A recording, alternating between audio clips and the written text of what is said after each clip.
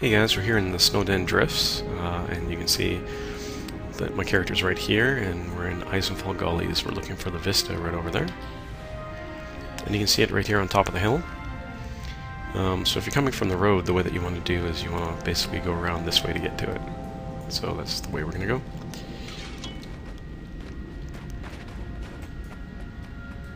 Like always, there's a whole bunch of mobs you're going to have to fight and whatnot to get over here.